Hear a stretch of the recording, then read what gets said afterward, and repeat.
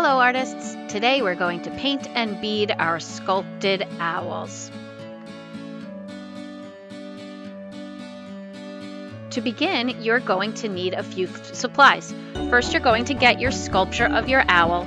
You're going to collect one or two paintbrushes, maybe a big and a small, a set of watercolor paints, and a tray for your water. You're going to begin by waking up your paint with a little bit of water.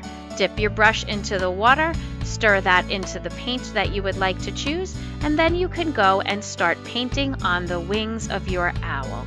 As I paint, I'm making sure I use the top tip of the brush to paint back and forth on my owl. I do want to make sure that I try and get the edges or the outside of the owl, and if I need to hold it so I can paint that inside of the wing, I can do that. Notice that I'm not taking a lot more water. I just need a little bit of water to get my paint flowing. You don't have to paint your owl realistic colors. You can choose some fun colors and paint that however you would like.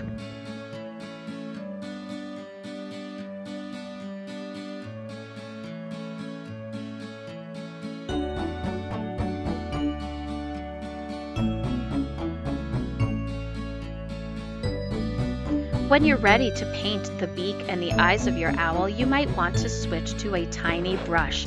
You can dip that tiny brush in the water and then the paint to wake up the paint and just tap it into those little sections. Those little sections are the hardest, but using that little brush is going to help you.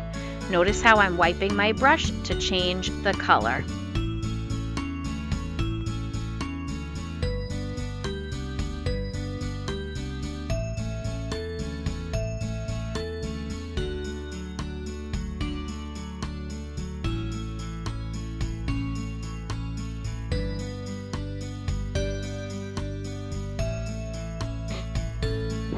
Remember, the choice is yours for which colors you would like your owl to be. Make sure you use good craftsmanship and take your time painting your owl. Now we're going to be beading our owls. In order to begin beading, you're going to need a few simple materials. The first one is a pipe cleaner, and the next one is going to be several beads, which you can pick as you go along. To begin, fold your pipe cleaner in half to find the middle point. You're now going to see that there's two different legs. You're going to put the top part of your pipe cleaner through that hole in the owl's head and then you're going to twist those legs around one time, two times, and three times. Separate those legs of the pipe cleaner and now start stringing beads onto the one side. You're going to create a pattern with your beads in whichever type of design that you want. My pattern here is blue, pink, yellow, and green. So now I'm going to go and do the same thing on the other side.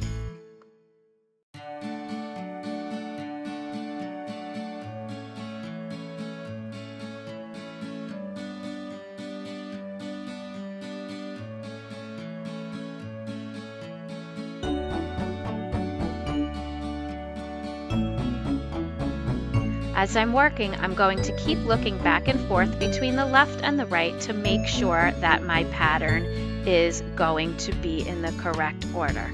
Notice how I have the same colors on each side as I go up. The next step is to take your branch from the tree and you're going to take the top leg of the right side and twist it around a few times. Make sure the pipe cleaner goes all the way around and you don't have any little edges hanging off. Do that onto the left side, twist that pipe cleaner all the way around, and then you are done. Great job, artists!